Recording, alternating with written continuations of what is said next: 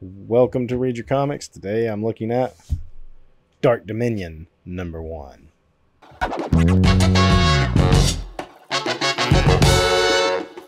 All right, as usual, I want to give a quick shout out to all of my subscribers. Channel is continuing to grow. Appreciate all the interest I'm getting.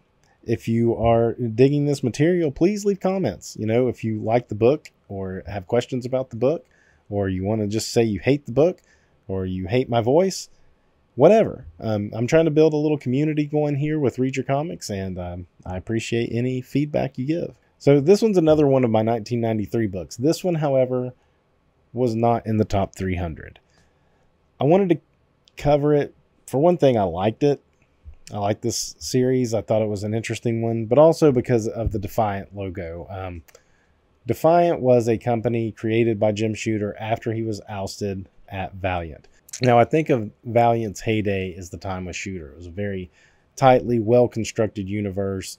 Um, you know, it was it was there was good continuity between books, although you didn't feel like you had to read each book to understand what was going on. So it wasn't like you had to read all the titles. But if you did read all or, you know, a few of the books, there would be like little nuggets that would just let you know, hey, this is in the real world and it's happening kind of at the same time, which was also one of the traits of the Jim Shooter era at Marvel that I look back on very fondly of.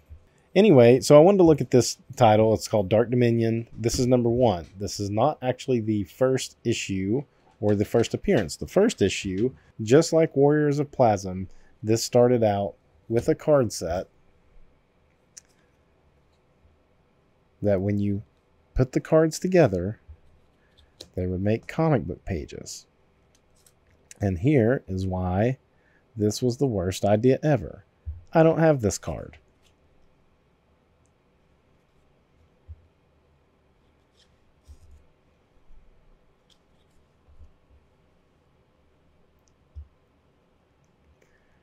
It's kind of neat, but I never got this card. And in order to get that card, I had to buy more and more and more packs. Um, in fact, I think I bought a box because I have a box. I have the box. See, I have a box. So I'm pretty sure I bought a box of cards and I didn't get a complete set out of the box. Go figure. So this was actually done by Steve Ditko. The whole series was conceived, it's credited to Jim Shooter and Steve Ditko did it. Not to mention that, but on every card you've got the logo, which also like hurts the art in the book. Um, you know, so there's like some neatness to it. Those are kind of neat panels of him looking around the, the main character. And there was like a a binder you would get that had like the comic cover to it.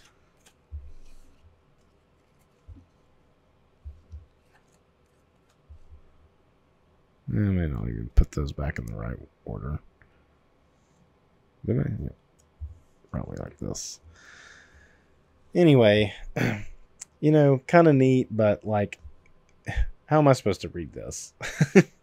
so, and I, I have seen the whole book put together. I don't even know why I still have these cards. It's something that just floats around like in my collection to the side and I keep moving it out of the way and moving it out of the way.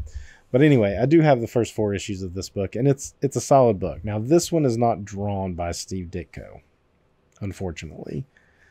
But it does have pretty good art in it. Uh, so it says developed by Jim Shooter and Steve Ditko.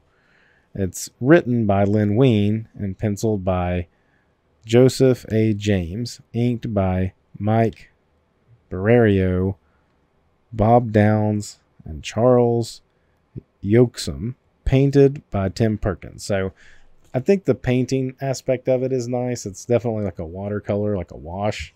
And I think that kind of makes it stand out. This is a neat concept. So the main character is he's meeting somebody here who's reached out to him and they're talking about he's like, Can you help me? There's some vagaries there. And he's like, I might or I might not be able to. There's certain things I can help you with and certain things I can't. And in their discussion, this like deranged person comes into the McDonald's wielding a knife. Um, just acting crazy. The manager comes over and tries to like calm him down, and he gets, his hand sliced. And all of a sudden, this character decides, like, I can take care of this. And he disappears, and it's a cool transition right here. So he actually goes to this, like, uh, not like a di- different dimension, but like a different, like, plane, almost like the astral plane. So you can see where this, like, Ditko inspired stuff comes from in this. And in this astral plane, there's like these monsters that, like, hang on every person and feed on them. And they feed on like fear and anger and like basically all the negative emotions. You can see him there when he's like lit up bright fighting this monster on the cover. So then he has like a pretty calm talk because he's like, You can still see me. And they're able to talk. And he's able to like get this monster off of the guy and it calms the dude down. And in there, he sees this woman who looks like one of the Warriors of Plasm women. If you've read Warriors, Warriors of Plasm, or if you were reading it at the time, because if you were probably getting this book, you were probably getting the other Defiant books too. Um, she looks like she's from that, but she's not. So that when I reread this, that was confusing me. I was like, oh, I don't remember Warriors of Plasm really crossing over with this. Anyway, so he gets the demon thing off of him, and then he reappears. So when he goes to that like astral plane, normal people can't see him. And, you know, and then he just kind of reappears. And I guess like it must be like beyond your senses. It's just like he's not there and then he is there. So he's like, You're going to calm down and go quietly now. And he's like, Yeah, I am. You know, he says, Thanks, man. And then, you know, he's back to this guy and he's like, So you see, he's like, some things you just kind of have to take care of yourself. Like if you don't give the fear, give into the fear and stuff, these things they can't hurt you. And then he fades off again, and as you can see, he's walking away. Just everything's covered in these these monsters. So pretty cool, pretty cool splash pages and stuff. I really think the colors help the transitioning between the astral plane and the um, real world, and I guess he can like walk through walls and stuff. And so he goes to visit this homeless lady who, you know, kind of a trope to go visit the old the old homeless lady who knows more than she than you would think. She sees things that we don't see. Um, you know, you see that with like Mad Hettie and Sandman and and really a lot of books. There, uh, like Spawn had like the homeless people that could see stuff beyond the regular realm of things. It's it's it's a bit of a tired trope, honestly. It was at least back then it was it seemed like it was being used in a lot of books. Um anyway so he goes to see her and he mentions seeing the uh the woman the woman that i said was like the warriors of plasm woman and if she knows anything about it she's like well i don't but i know somebody that can. You better follow me before i change my mind. And we're going to stop here at this old dumpster. And he's like is there a secret entrance or something there behind it? She's like nope it's where i keep my valuables my cans and bottles and stuff. And i mean he's just kind of like okay i'll carry it for you. Let's go. And then they go down into the subway. And when they get down there they immediately find another monster that he has to fight and pretty much she can see it but i don't think she goes to the other realm and they call him Glimmer because I think he's where he's this yellow and most people are this like pink color in it. And they talk about probably the character they met in the card series, who's kind of like the main villain of it, who is more or less trying to control the uh, monster world for his own devices. She dropped her cans. He helps her pick them up. Um, Jim Shooter kind of discusses here the concept of this book, which is good because if you didn't read this card series that may have cost you over a hundred dollars to complete and read, you might be like, "What exactly is going on here?" So he pretty much describes it in this little uh, editor in chief scenario here.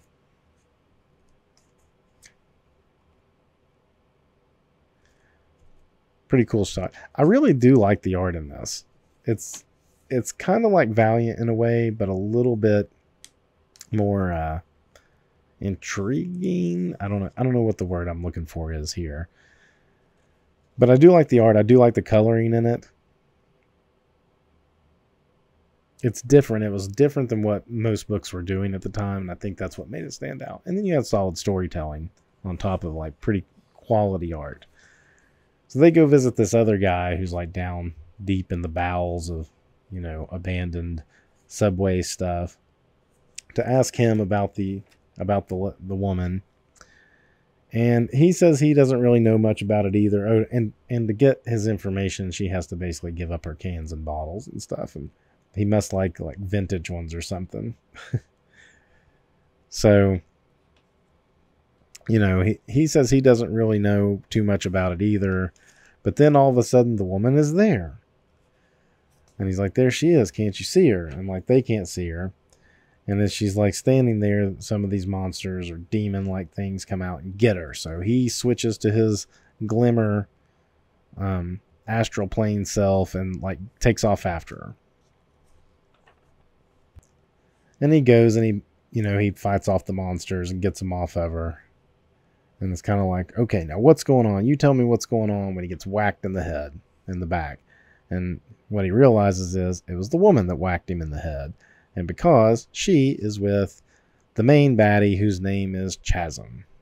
And so you can see he's got the yellow too, and like where she's yellow and he's yellow, meaning they can they can go between the two worlds easily. They can like some of those like the the homeless lady and the other guy, they can kind of see the other world at times and they know about the other world, but they can't like go back and forth between them. Anyway, and it turns out that the woman he was confused about was also a demon that had some kind of shape shifting abilities. Lots of monsters and stuff in this. Kind of some more action scenes. It goes pretty fast. It's a pretty quick read. Um, then while he's in there fighting them, and he's kind of like, you know, you can't really stop me. Like, I can beat these things all day. And he's like, I know you can, but I got your uh, your people, your lady, and the other guy. Uh, I got your lady here, your homeless lady you care a lot about. I've got my real people in the real world taking care of her, unless you go ahead and change back into your form. And he's kind of an older guy, you know. We don't get like young, uh, you know, 20 something, early 30 something superhero. We got a dude like in his 50s or 60s, really. At least he's white headed, which was an interesting aspect too, even to me reading it as a kid. So pretty pretty interesting. Uh, yeah, they whack him and then they throw him into a pit to um, leave you hanging for the next issue. Here's the card, the premium card set for the Warriors of Plasm book. First printing binders for $150. $150. That is what I think. I mean, other than the fact that this came out in 1993, which was the peak before the crash, stuff like this is the reason it crashed. You know, all the companies doing these kind of gimmicks, and Jim Shooter should have known better than to do this. And I, I feel like I've read where he said he didn't necessarily want to do that. It was the, you know, people backing the company, the financiers that were like, do something like this to prop it up. And all it did was piss fans off and give it a slow start. I mean, I remember Plasm kind of being a, you know, relatively minor hit because people were like that they were hopping on Valiant. They're like, oh, I kind of missed out on early Valiant. I'm going to hop on this for sure. It's going to be the next big thing. And this card stuff just sucked them dry. I mean, you're talking about $150, 1993. That might as well have been like $400 to buy the first issue in card format. And I don't even know if that's the whole issue in it or just the binder itself. Anyhow, But they did have good solid stories. That that's the sad part about Defiant is that they had pretty good storylines. They had pretty good art. They just started off on the wrong foot with these these stupid card sets, even though it's like you got, you know, cool looking Ditko looking monster there, right? Ditko-ish monster. I mean, these these were cool. If you just done a card set of just the characters and stuff, that would be one thing to like kind of be like a companion piece. But when you start out with the first issue, has to be these cards. It's not good. It's not good. Anyhow, um, if you could find these, the first five, six issues, it didn't last long because the company folded within 18 months. Um, but I think Dark Dominion, you know, made it made it close to 10 issues. They're worth reading. They really are. If you can find them in the dollar, quarter bins, or whatever, grab them. Um, they're not reprinted anywhere. They probably won't be. I'm pretty sure the Defiant properties are tied up in legal limbo somewhere. Um, but Dark Dominion was one of one of the good ones. I would say out of the out of the Defiant books that I remember reading, um, definitely Warriors Warriors of Plasm and Dark Dominion were the two best, and they did start out with the card sets. So there you go. Um, that's all I got for it. Until next time, read your comics.